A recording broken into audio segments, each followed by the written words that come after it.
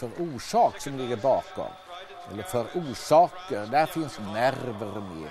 Men en sån här oerhört rutinerad ryttare eh, och vi vet ju att han, eh, att han är en skicklig tävlingsmänniska som sådan. Han, jag tror inte det är nerverna som är fel på utan det är möjligen att eh, hästen inte trivs riktigt här inne på Olympiastadion. Men Pierre Durand på eh, Jappeloup, ska han bli guldmedaljör? Frankrike, på en, den mest bedårande häst som hoppar i Seoul och i världen överhuvudtaget på hinder som är så oändligt mycket större än själva hästen. Kanske den minsta hästen i sällskapet, men eh, den spänstigaste. Titta bara och njut. Nu på trekombinationen.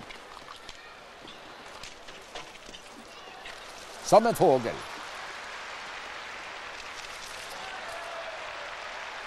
Och man applåderar efter varje språng här. Det är ungefär som på Skandinavien när Hugo Simon är igång.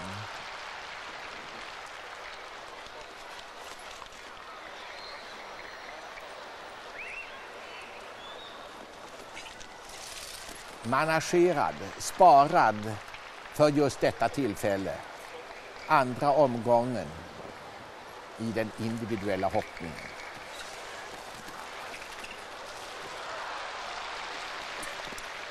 Fortfarande med spänsten i behåll.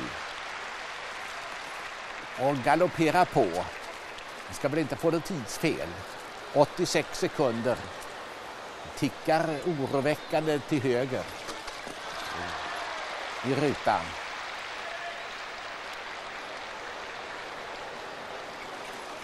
Och över men får tidsfel.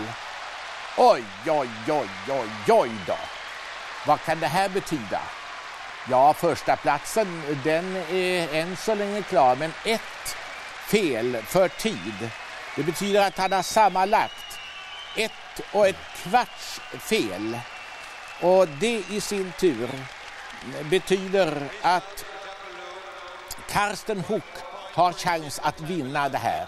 Och då är det en sån knallsensation så jag tror jag spricker. Han var den enda med noll fel i första omgången.